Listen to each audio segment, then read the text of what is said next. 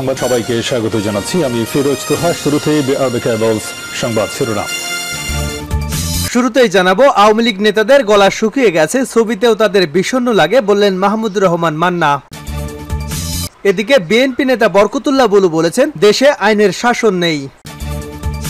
এবারে জানাব, বিএনপির যুগ্ম মহাসচিব রুহুল কবির রিজভির বিরুদ্ধে মামলা করতে হাইকোর্টে যাচ্ছেন হিরো আলম। জানাব বিএনপি খুনিদের দল এদের হাতে দেশের মানুষ নিরাপদ নয় বলেন প্রধানমন্ত্রী শেখ হাসিনা। এবারে থাকছে কর্মদিবসে ঢাকায় সভা সমাবেশ, নিষিদ্ধের লিগ্যাল নোটিশ সড়ক পরিবহন ও যোগাযোগ মন্ত্রী ওবায়দুল কাদের বলেছেন, ভয় নেই শেখ হাসিনার নেতৃত্বে বিজয়ের বন্দরে পৌঁছাবো।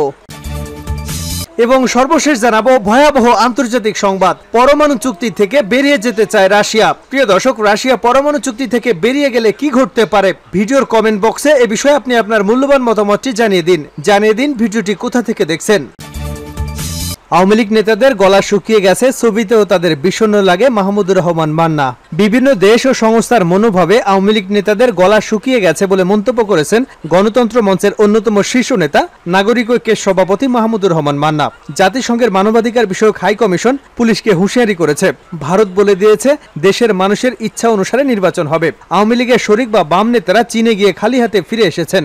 একে একে এই সরকারের সব বাতি নিভে যাচ্ছে। আওয়ামী লীগ নেতাদের গলা শুকিয়ে গেছে, ছবিতেও তাদের বিষণ্ণ লাগে। জাতীয় প্রেস ক্লাবের সামনে আয়োজিত সমাবেশে মাহমুদুর রহমান মান্না এসব কথা বলেন। সরকার পতনের এক দফা দাবি আদায়ে কর্মসূচিতে গ্রেপ্তার হওয়া ভাসানী অনুসারী পরিষদের আহ্বায়ক আবু ইসুফ সেলিম সহ সব রাজবন্দির মুক্তির দাবিতে এ সমাবেশের আয়োজন করে গণতন্ত্র মঞ্চ। গত উনত্রিশে জুলাই ঢাকার প্রবেশ মুখে অবস্থান কর্মসূচি থেকে পুলিশ আবু ইসুফকে আটক করে। পরে মামলা দিয়ে তাকে কারাগারে পাঠানো হয়। আওয়ামী লীগের খাতিরের ব্যবসায়ীরা হাজার হাজার কোটি টাকা পাচার করেছেন বলে দাবি করেছেন নাগরিক ঐক্যের সভাপতি। তিনি বলেন, দুই কোটি টাকার জন্য খালেদা জিয়ার দশ বছরের সাজা দিলেন। এক হাজার কোটি টাকা পাচারের জন্য কত সাজা দেওয়া প্রয়োজন? জনগণকে শোষণ করে এই রাষ্ট্র এখন ধনী লুটেরাদের। আওয়ামী লীগ সরকার দেশটাকে লুটেরাদের রাজ্যে পরিণত করেছে বলেও দাবি করেন জাতীয় সমাজতান্ত্রিক দলের জেএসডি সভাপতি আসম রব সমাবেশে সভাপতির বক্তব্যে তিনি বলেন, রিজার্ভ নেই, ডলার নেই, টাকা পাচারকারীদের বিষয়ে কোনো ব্যবস্থা নেওয়া হয় না। এই সরকারের অধীনে সুষ্ঠু ভোট হবে তা পাগল ব্যক্তিও বিশ্বাস করে না।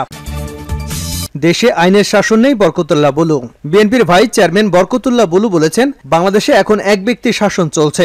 দেশে আজ আইনের শাসন নেই। রোববার বেলা বারোটায় জাতীয় প্রেস ক্লাবে গণতন্ত্র ফোরাম আয়োজিত প্রতীকী অবস্থান কর্মসূচিতে প্রধান অতিথির বক্তব্যে তিনি এসব কথা বলেন। বিএনপির এই নেতা বলেন, আওয়ামী লীগ সরকার আজ মানুষকে নিঃস্ব করে দিয়েছে।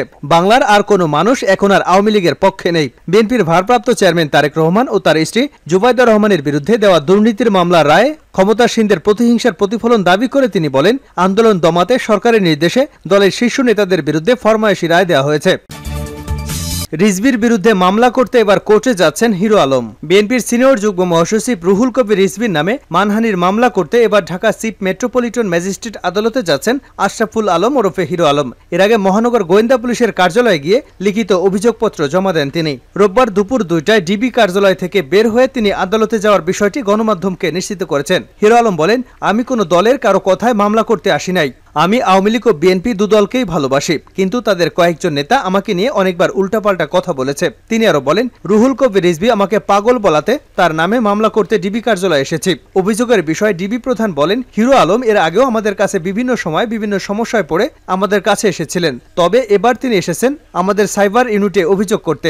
ভেবেছিলেন যেহেতু ভিডিওটি ফেসবুকে, ইউটিউবে ছড়িয়ে গেছে, তাই তিনি এসেছিলেন সাইবার ইউনিটে মামলা করতে। হারুনা রশিদ বলেন, যেহেতু হিরো আলম মানহানি মামলা করতে এসেছিলেন, তাই তাকে পরামর্শ দিয়েছি সিএমএম কোর্টে যাওয়ার জন্য।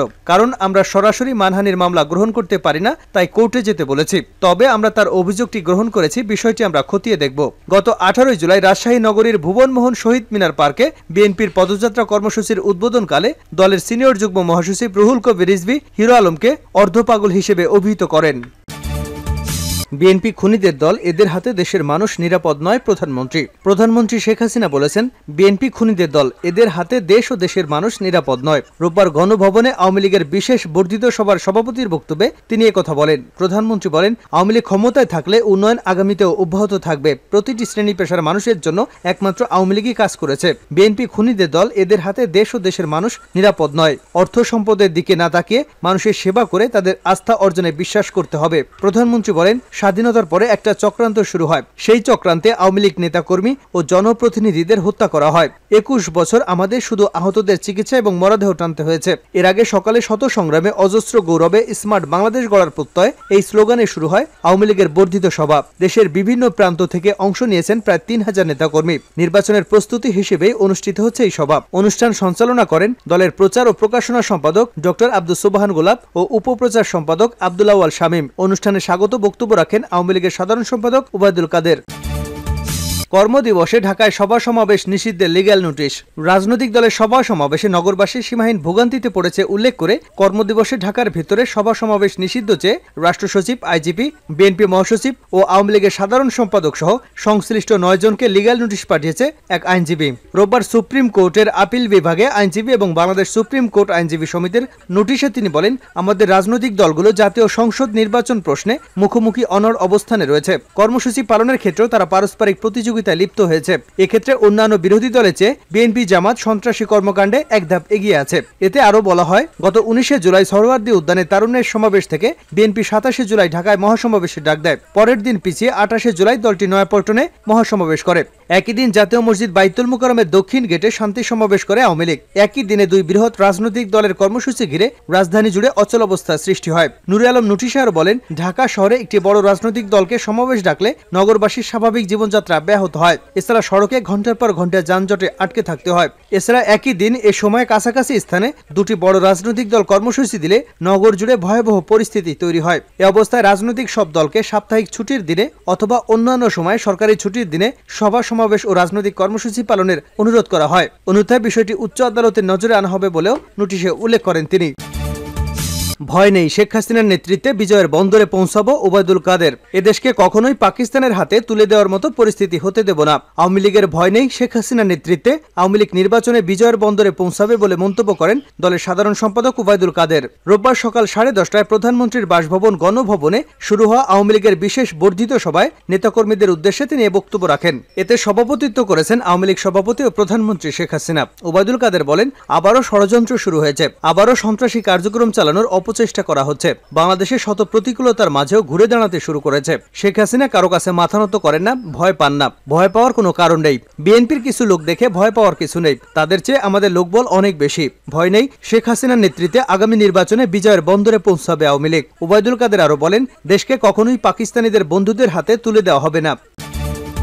পরমাণু চুক্তি থেকে বেরিয়ে যেতে চায় রাশিয়া। কি ঘটতে পারে? সর্বাত্মক পারমাণবিক পরীক্ষা নিশ্চিতকরণ চুক্তি থেকে নিজেদের প্রত্যাহার করে নেওয়ার চিন্তা করছে রাশিয়া। এক প্রতিবেদনে এ তথ্য জানিয়েছে রুশ সংবাদ মাধ্যম কমারস্যান্ট সিটিবিটি চুক্তি থেকে বেরিয়ে যেতে অনেক রুশ কর্মকর্তা সরকারকে পরামর্শ দিচ্ছেন। বিশ্বব্যাপী সব ধরনের পারমাণবিক অস্ত্রের পরীক্ষা নিষিদ্ধ করতে উনিশশো ছিয়ানব্বই সালে এই সিটিবিটি চুক্তি হলেও এটা এখনও কার্যকর হয়নি। কারণ যুক্তরাষ্ট্র সহ বেশ কয়েকটি দেশ এ চুক্তির অনুমোদন করেনি। কমার্সেন্ট বলছে, এ বিষয়ে আলোচনা একেবারে প্রাথমিক পর্যায়ে রয়েছে। তবে এ চুক্তি থেকে রাশিয়ার বেরিয়ে যাওয়ার ব্যবহারিক কোনো অর্থ নেই। তবে এর প্রতীকী অর্থ রয়েছে। ইউক্রেন যুদ্ধ ঘিরে বিশ্বে আরেকটি পারমাণবিক যুদ্ধ ছড়িয়ে পড়তে পারে। এমন আশঙ্কার কথা বেশ আগে থেকে বলে আসছেন নিরাপত্তা বিশ্লেষকরা। এক পর্যায়ে রুশ প্রেসিডেন্ট ভ্লাদিমির পুতিন তার পরমাণু বাহিনীকে সর্বোচ্চ সতর্ক থাকার নির্দেশনা দিলেও এ বিষয়ে উত্তেজনা তখন আরও বাড়ে। আর সাবেক রুশ প্রেসিডেন্ট ও পুতিনের মিত্র দিমিত্র পেসকোপ ইউক্রেন যুদ্ধ শুরু থেকে পারমাণবিক অস্ত্র নিয়ে একের পর এক হুমকি দিয়ে আসছেন। এমন পরিস্থিতিতে রাশিয়া এই চুক্তি থেকে বেরিয়ে গেলে পারমাণবিক অস্ত্র পরীক্ষা নিয়ে